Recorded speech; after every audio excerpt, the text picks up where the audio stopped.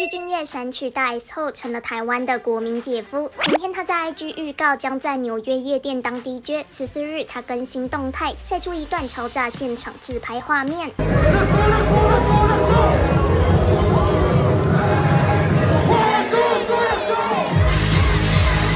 短短十多秒，已经可以感受现场嗨翻的气氛。不过影片曝光后，大家就被姐夫的纹身界吸引，直呼第一次近距离看到他真的是太浪漫了啦！而且具俊晔即使已经五十二岁了，还是活力满满，根本看不出来已经是年过半百的人。虽然他跟大 S 闪婚后人都不在韩国，但是工作满档，还刚发表新音乐作品，根本没有大家担心的养不起大 S 的问题。而大家都关注的，他到底会不会接受原子？少年邀约制作人詹哥接受自由时报访问时透露，总决赛在六月，具俊晔那时候人可能在韩国无法到场，但是节目会透过 live 连线的方式来进行。等到选秀结束后，请剧挑几位适合的人选来合作。这番话一出，也让大家相当兴奋。不过就詹哥提到的姐夫六月人会在韩国，那言下之意不就是要跟大 S 分开一段时间